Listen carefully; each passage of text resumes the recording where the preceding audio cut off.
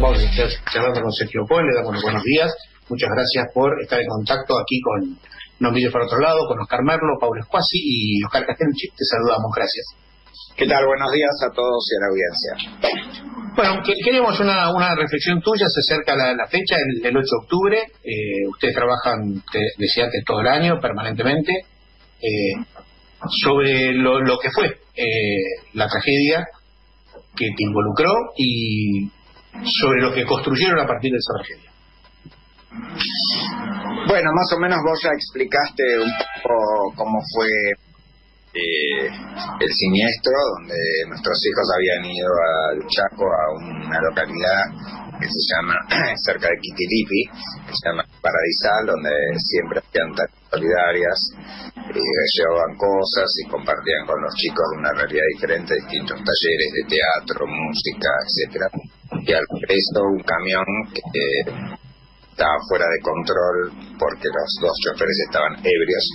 Este, se fue de carril y volvió, se iba y volvía, y el micro que conducía un chofer inexperto, en lugar de abrirse y frenar hacia la banquina, se cruzó y chocaron de frente los dos, originando la muerte de los dos choferes del camión. Y lo que vos ya dijiste, el saldo del siniestro, donde murieron los chicos, la profesora, entre ellos mi hijo. Eh, desde ahí nosotros eh, tratamos de que esto, esta muerte evitable eh, se transforme en poder generar algo que trascienda la sociedad y ahí formamos una ONG que se llama Conduciendo hasta la Conciencia, que fue en realidad unos años después.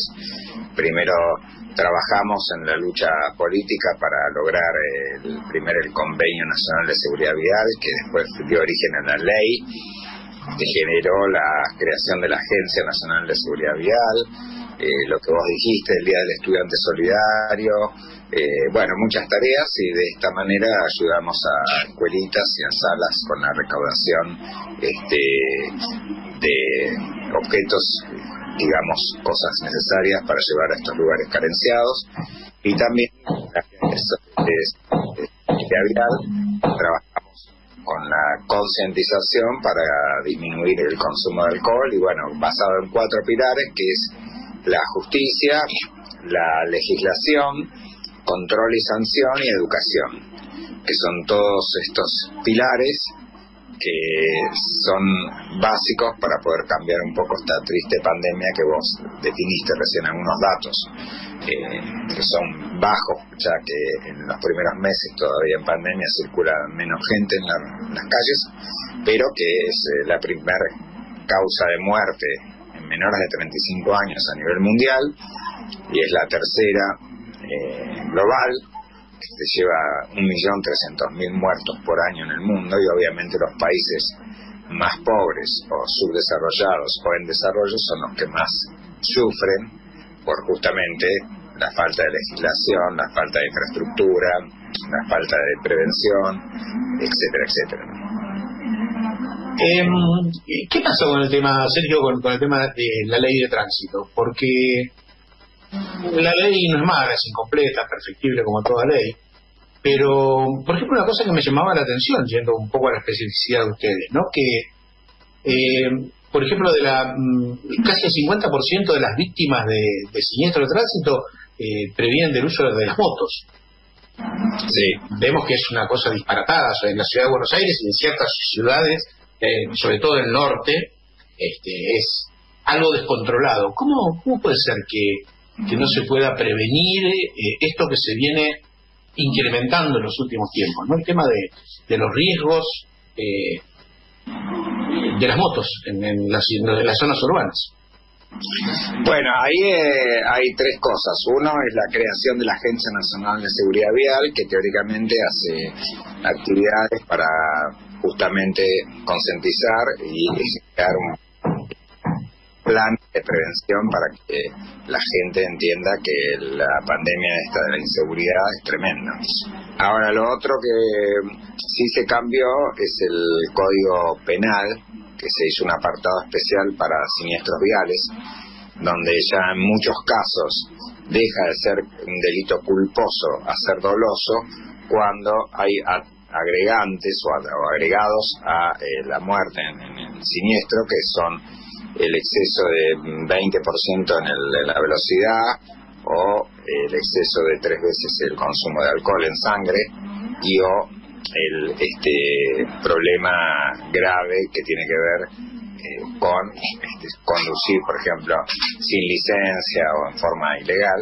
Entonces esos son, eh, en realidad no son atenuantes, sino que es todo lo contrario, son agravantes para transformar el delito eh, doloso en culposo, culposo en doloso, para que la gente entienda, un delito que es culposo significa que nadie se sube a un auto para ir a matar a alguien. Entonces, como no hubo intención de matar, la ley en ese sentido eh, es muy débil y las sanciones son encarcelables en la mayoría de los casos. Cuando hay dolo, y ahí, está el dolo eventual al, al dolo, pues, por ejemplo, el caso ese de, de los el periodista que mató a un agente de seguridad y en Figueroa Alcorta, por ejemplo, estoy hablando de casos así que son resonantes a nivel de medios, porque hay miles de casos todos los días. O el caso de los chicos estos del Audi de Nordelta de hace poco, que eran los amigos con exceso de alcohol, sin licencia, con el auto le había robado al padre. Bueno, son ejemplos de casos donde se transformó en doloso.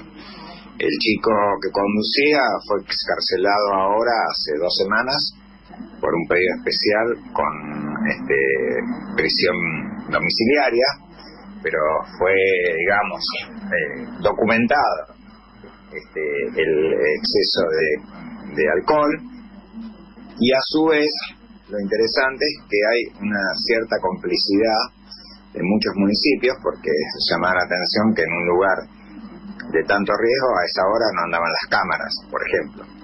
Y que yo tuve la oportunidad de hablar con la fiscal de San Isidro, que estuvo en el momento del siniestro y fue la que cerró el perímetro para recabar toda la información, etcétera, y me contaba todas estas cosas que son este, realmente increíbles. Este, entonces, Sergio, Sergio, perdóname. No, no, no, termina, termina que te quería hacer una pregunta, termina.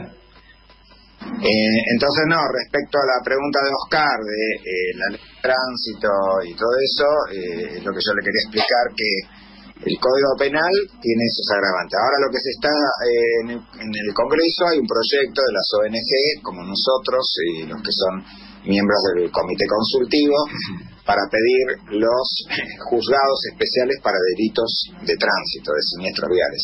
Porque, claro, un juzgado penal le cae desde un asesino hasta, por ejemplo, uno que se le cayó el florero y mató al perro. Entonces, debería haber juzgados especializados en tránsito, que sería lo que tendría un poco más de eficacia para que esto genere sanciones ejemplificadores y no, no se sigan cometiendo los mismos delitos, porque como decimos siempre, si sigues haciendo lo que estás haciendo, seguirás consiguiendo lo que estás consiguiendo.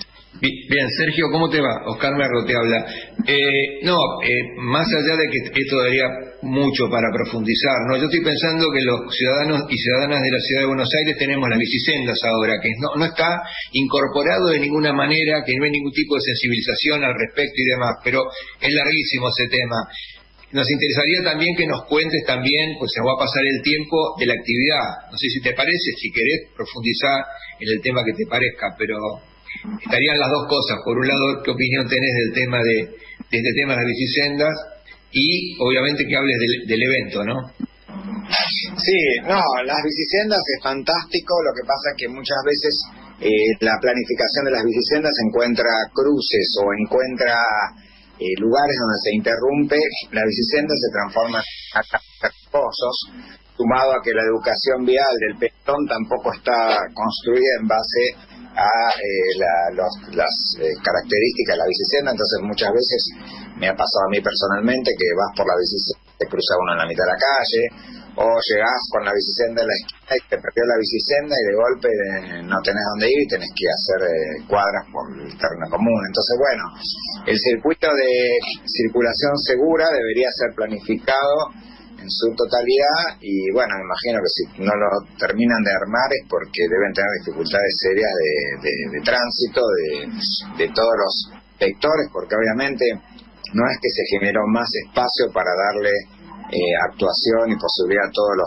eh, lo que se hace sobre el mismo espacio se genera la bicisenda, prohíben estacionar, entonces la gente no tiene que poner el auto, las motos, es decir, hay una cada vez aumenta el parque automotor de, motos, bicicletas y vehículos, entonces este es como un tipo que tiene presión arterial y le da sabe todo el día, es decir, las arterias son las mismas, y recibe cada vez más, más y más, entonces no hay una planificación global territorial y educativa para todo. Respecto al recital, sí, es un recital solidario que lo hacemos todos los años ininterrumpidamente desde la tragedia de los chicos. Este, el año pasado y este son eh, virtuales, o sea, por streaming, eh, y participan gran cantidad de músicos. Bueno, ahí creo que Oscar algo mencionó. Este, y eh, lo bueno es que lo pueden, ustedes cuando compran la entrada en Ticket hoy, eh, es una donación, no es que es una entrada para el recital únicamente, es aparte de poder ver el recital en su casa, en la notebook, en la tablet, etcétera, este, pueden también sentirse contentos de poder donar y participar de una acción solidaria. Este, es increíble la cantidad de músicos que se han sumado este año, o sea, es eh, maravilloso porque aparte se hacen, con esto de la virtualidad se crearon muchas nuevas formas de poder interactuar. Entonces hay músicos que interactúan con otros desde la casa en temas comunes. Este, realmente hasta se incorporó Julieta Venegas, que es mexicana, hasta músicos de Chile, de todas las temáticas, folclore, jazz, em, rock, eh, es maravilloso. Y em, el hecho de que sea virtual también, este, o streaming, uno lo puede eh, incorporarse en cualquier lugar del país, del mundo. Es decir, ahí ya vimos que hay gente de Israel, de Chile, de México, que han comprado la entrada. Y obviamente en dólares es muy barata, así que todavía más. Y este, bueno, como dije, es la doble acción.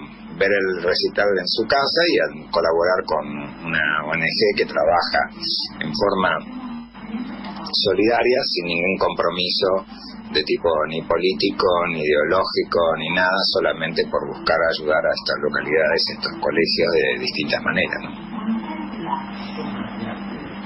Estás muteado, Oscar. Estoy muteado, estoy muteado.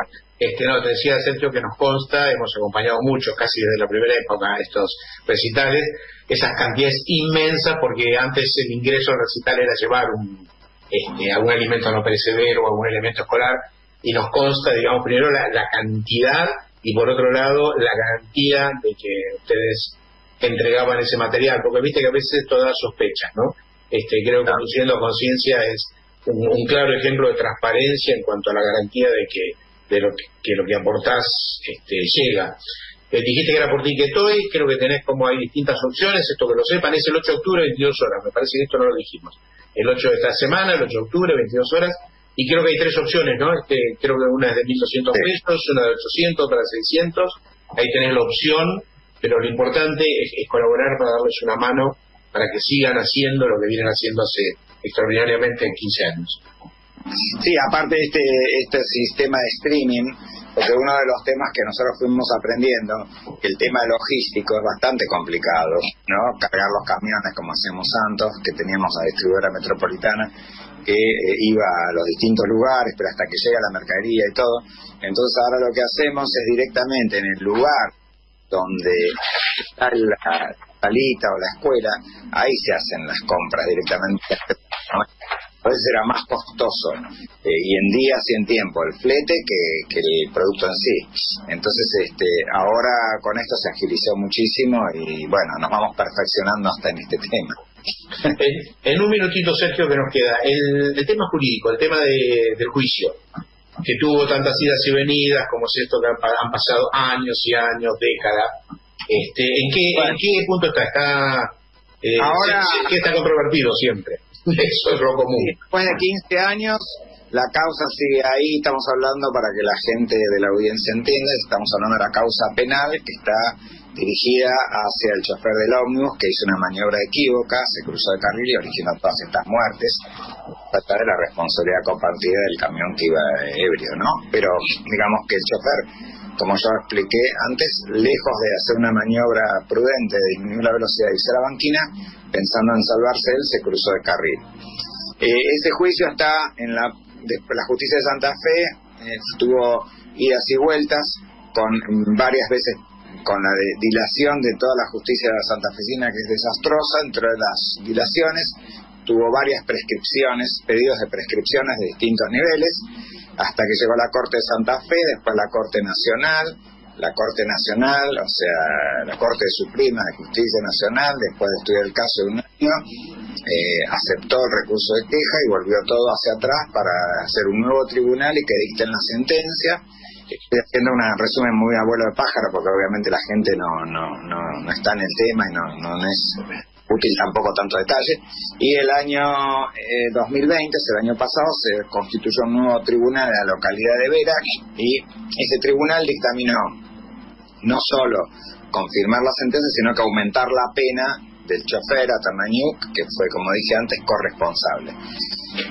bueno, eh, Sergio, sí, perdón.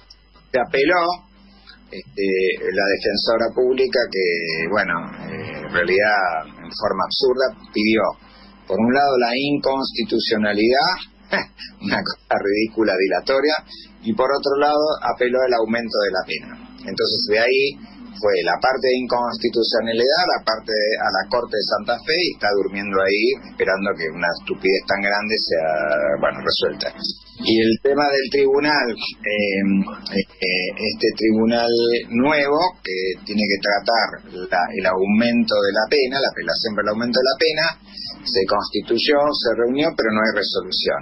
Ahora hay un juez, porque es una corte que se llama horizontal, que es una cámara horizontal, pues de Santa Fe, Así que a 15 años seguimos ahí esperando. Estos señores jueces que cobran casi 400 mil pesos por mes se dignen a trabajar, a generar la sentencia, que nuevamente no es que va a ir preso, pero después de 15 años ya es ridículo que por lo menos tenga una sanción mínima, que esta persona tenga privacidad de manejar o algo que genere, si no, digamos, ¿para qué va a seguir este, la gente cuidándose de no matar en, un auto si total nunca vas preso. Eh, esa es la instancia actual. Terrible. Bueno, te agradecemos mucho, Sergio. Suerte que 15 años esperando justicia. Eh, van a seguir esperando, me parece. Suerte que ustedes no esperan de buena manera, digamos, no esté laburando permanentemente, haciendo otro tipo de justicia que es importante, ¿no? Apoyar a la gente que necesita en el interior, así que para esto es el recital del, por streaming que tienen organizado para el 8. Eh, invitamos a nuestros oyentes a, entrar a Tiquetoy, a acompañarlos, a darles una mano. Eh, y bueno, seguiremos siempre junto a ustedes. Algún día haremos un programa cuando haya habido justicia. Me parece que vamos a tener tiempo para, para seguir. Muchas gracias, Sergio. Muchas gracias por el interés y bueno, los esperamos el 8 en streaming. Ahí vamos a estar. Eh, escuchamos a Sergio Cohen, uno de los fundadores de Conduciendo a Conciencia. Recordamos el tema de la tragedia del colegio Ecos hace 15 años.